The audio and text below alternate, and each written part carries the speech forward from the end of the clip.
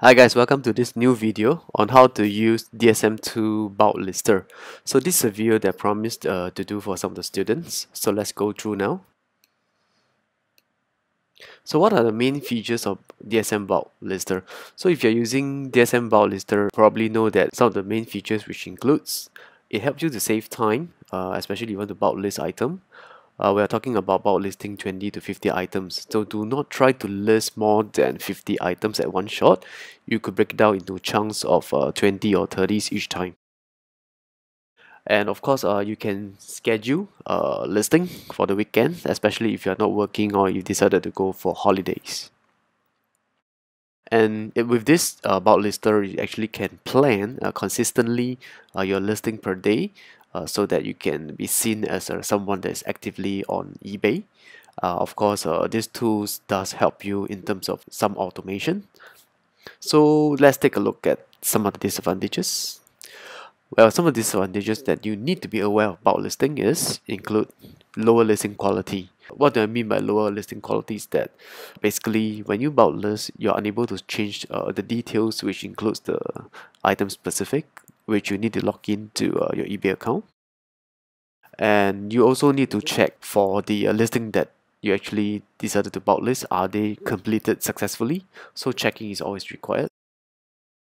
And of course, uh, like mentioned, item specific, if you need to edit them, you need to edit them directly on eBay, uh, whether you want to include more item specific or you want to remove some. As we know that uh, DSMTool, some of the uh, features uh, you can do directly, which includes the changing of eBay titles and the listing uh, profit margins as well as quantity of the item.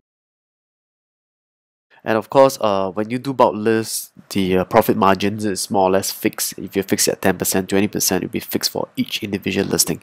Uh, of course, uh, you will want to change them according to the profit margin that you have planned for if you want to. So do take note, do not change the pricing on eBay site. If you want to change any settings, do change it from DSM site. And of course, the uh, default listing policy will be applied if you are listing uh, items together uh, some of the items could be having a different uh, listing policies that you need to be aware of and do take note of this when you're list, uh, listing uh, item that's in bulk So let's take a look at the bulk listing uh, in action. I've just uh, captured some uh, screenshot for you uh, just to save time. Uh, later on, we'll go through the, the second part of the uh, bulk listing. So on this screen uh, shot, you can see that basically I've selected the source, which is AliExpress. You can select Amazon.com and the target I selected eBay UK. You can select eBay USA and you can see that the second uh, you can see that the third arrow is pointing to a series of number. So these are basically a source ID so for Amazon side we have the ASIN you can uh, actually put the ASIN over here.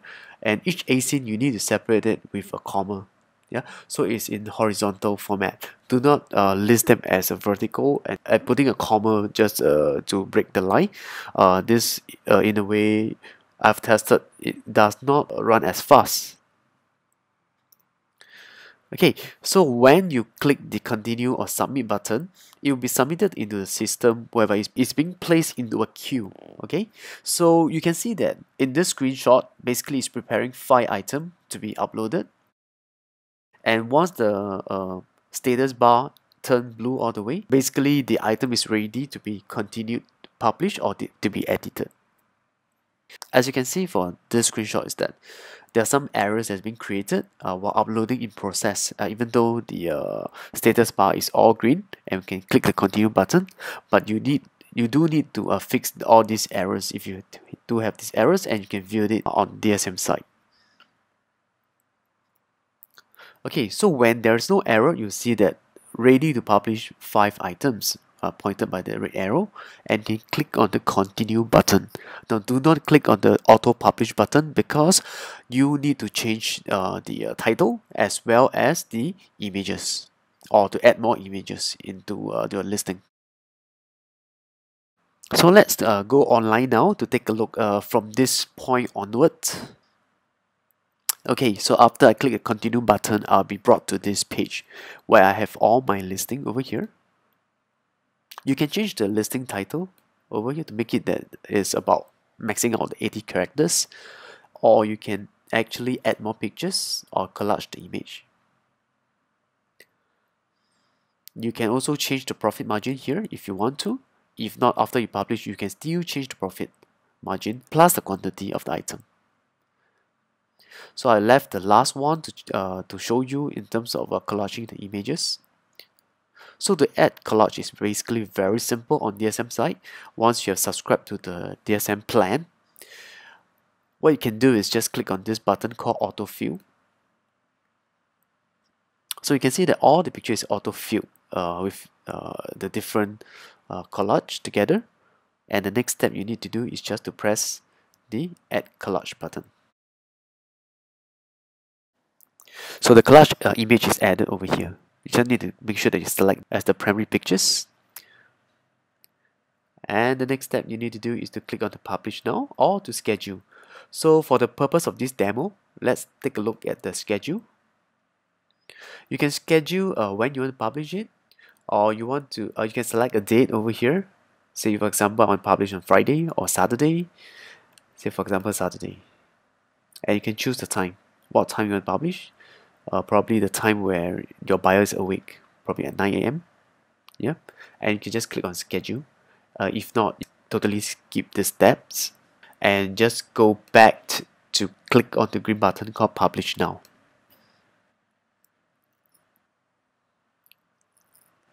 Okay, so items are processing. They will be added to the listing queue. So where can you find the listing queue?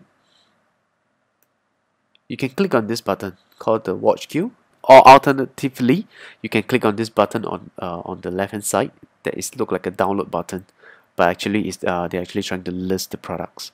So once everything is uh, imported and uh, into your eBay store you will see the status over here. And if there's no error it will change to done and everything will publish onto the eBay store.